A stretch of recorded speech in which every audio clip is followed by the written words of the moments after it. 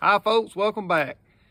Today we're going to be looking at something that I shared on Instagram earlier in the week that generated a lot of interest. It's the rifle that gave me um, an interest outside of hunting rifles and shotguns. Today we're going to be looking at my M1 Garand. So let's jump into that. So here it is. My M1. And what you'll see different about this, and I'm going to go over this rifle as we look at it. You'll, first thing you'll notice is the stock is fairly shiny. My old man bought this rifle when I was 12 years old from a certain local surplus store old man had. And this rifle, like I said, is what gave me an interest in things other than hunting, bolt action rifles, shotguns, things like that. When we got it, um, it had some terrible uh, hand guards up here. They were some kind of old European burst or something. They was badly dinged up. They didn't match the walnut. So he ordered these hand guards new. And what we done is he baked the original stock in our oven. I'll never forget it. Got all the cosmoline and oils out of it. And this is a Birchwood Casey Tru-Oil. And that's been on here going on 22 years. The stock like I said, it's an uh, issued stock. This rifle was a Lend-Lease rifle too. I may, I'm gonna go ahead and tell you that. So I don't know exactly what the story is with the stock, but I'll tell you this, you can fairly, barely see um, the stamping there. It had two holes drilled in it here where they had a grenade sight screwed on here. The, my daddy still got the base somewhere that he took off. It had a round base. I have no idea what happened to it over the years, but it's got the uh, P mark on the uh, grip. You've got uh, that mark in there, and, and I'm pretty sure it's supposed to be an eagle with, with uh, some stars, a couple arrows, but I can't, uh, you can't make it out anymore. Um, excuse this truck going down the road. But when I say this was a Lend-Lease, this thing is a mix match hodgepodge of parts, but it is an absolute fantastic shooter. So the receiver is a Harrington Richardson, made in the 50s. Can't tell you an exact date. Um, it has a Springfield Armory bolt. I'm pretty sure the operating rod is a Springfield Armory. What makes this rifle such a great shooter is the barrel. When this thing went to the Danish for the Lend-Lease, they replaced the original barrel in April of 1966 with what, the, what is called a VAR barrel. Now, their manufacturing, I can't tell you anything about it other than when you read about a VAR barrel, they're highly desirable. They're very, very good shooters, and this one shoots better than I can shoot it. I, I mean, I've shot this thing for many years. I've hunted with it and it's never ever let me down. It has been a great rifle. Another interesting thing about the Lend-Lease that I'll show you right here, is the trigger group in this thing. The receiver is a Harrington Richardson, again, Springfield bolt, Danish barrel, but another European um, piece to this is the markings on the trigger assembly, BMB. That is, uh, trigger group was made by Beretta. They had, uh, my understanding, they bought the um, Winchester tooling, uh, part of the Lend-Lease thing, and they started manufacturing uh, parts. Beretta did. It, um, this thing, like I said, I have carried it, hunted, I've hunted with it. It has been, uh, uh, it was an important part of my growing up from time, like I said, I was 12 years old. Um, the thing about the M1 Garand is you can't shoot commercial ammunition, newer commercial ammunition. The the loading on it, my understanding, it it'll bend this operating rod, and you don't you don't want to have to replace an operating rod. It's very expensive. So um, Shooter, Schooner, S-H-U-N-T-E-R, Schooner. Company. I believe that's how you say it. I may be mispronouncing that. They make an adjustable gas plug. and I've had this one for years. This was one of the first things when I got to be an adult that I ordered from Brownells. We always shot um, surplus ammunition or my daddy reload Garand Safe ammunition for this. When I got older, I bought this from Brownells many, many years ago, and they still have them on their website. You can find them there.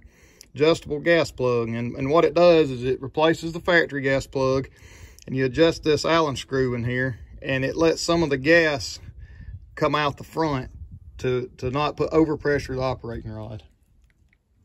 If you plan on shooting anything other than uh, surplus ammo, if you can find it anymore, it's about dried up, or hand loading for it, or buying Sellier and Bellot or uh, Hornady Garand Safe ammo, that's the route to go.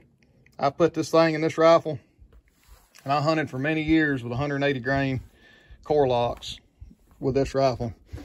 I've got some surplus ammo. We're gonna, I'm gonna shoot these eight for you today. Um, I bought this years ago at the CMP. It is um, Greek HXP from 1972. They used CMP used to sell it in spam cans, and that stuff has since dried up, and I happen to have some of it left. So we're gonna, I'm gonna shoot that for you all today. The thing about the Garand, you know, everything's magazine fed, but this one's actually internal magazine fed from a clip. One of the only clip fed, I guess you would say, uh, guns there is. But well, I'm going to uh, we're down here at the 100 yard line. I'm gonna get my camera turned around and pointed to the uh, steel target I've got out here, and we'll put them eight rounds on steel. All right, our 100 yard silhouettes right there. Got eight rounds of uh, 30 6 1972 Greek um, HXP. Let's see if these sights are still on enough to give y'all a ping. It's been a while since I've shot this rifle and I can't tell you exactly if it's still zeroed or not, so let's find out.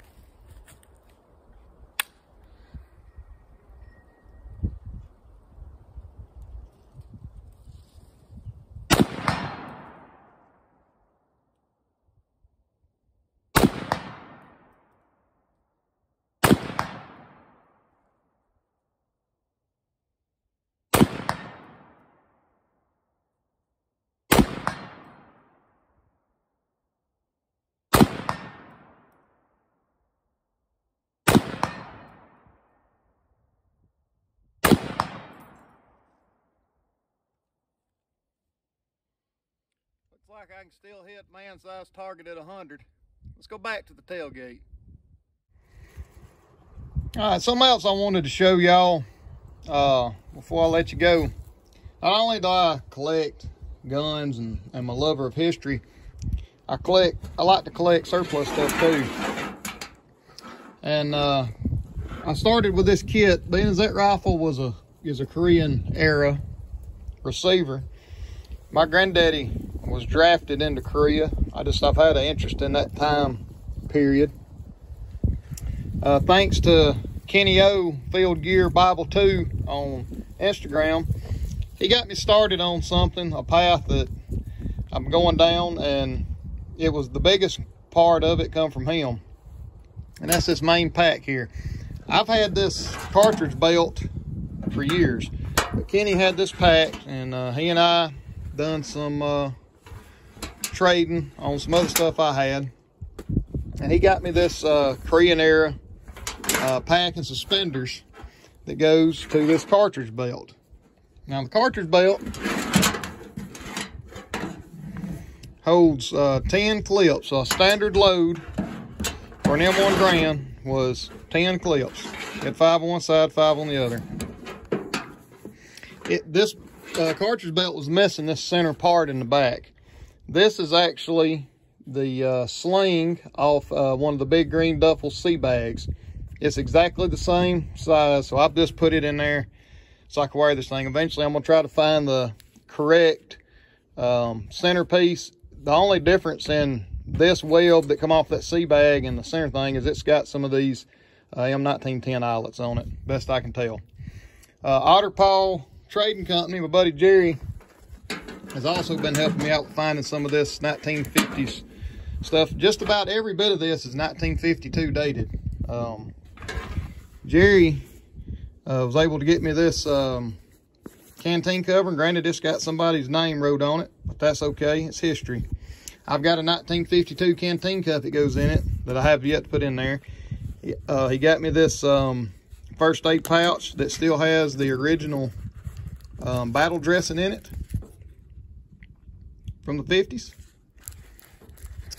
And when I started going to the CMP as an adult and getting ammo and stuff, I got this uh, M5 bayonet and the sling that's on the rifle uh, down there from the CMP. So I've, I think, best I can tell, I've about got a complete kit here to go along with the rifle just because I like collecting this stuff. I believe the only thing I'm missing is the um, entrenching tool and cover. It goes right here on uh, these uh, eyelets. The cover does and the handle sticks down and fastens right there.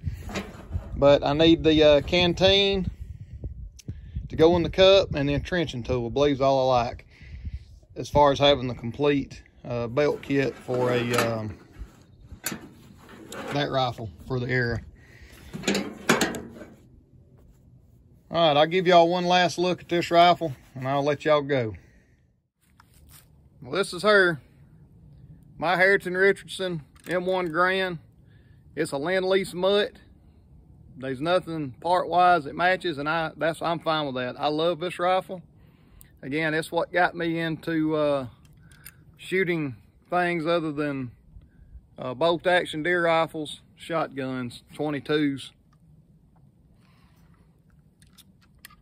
Well, I appreciate y'all coming by. Appreciate you taking the time to watch this. If you don't already, follow me on Instagram. Uh, I generally post this stuff up, get a feel for how people takes to it. And then, you know, if it's something like this week, this was pretty popular, I'll give y'all a video on it. Or if you got any suggestions um, for me, leave them in the comments. Um, I'd ask that you'd uh, like and subscribe to me if you hadn't already. And as always, I appreciate y'all coming by. Uh, I appreciate the views and all the support I get y'all make this worth, the social media stuff worth doing, the people I interact with. I've made several friends on Instagram. I've talked to several people here on YouTube. And y'all really make social media worth doing. Um, I've had a lot more pleasant, positive uh, interactions than I have negative. So as always, I appreciate y'all. I thank y'all for stopping by, and I'll catch you next time.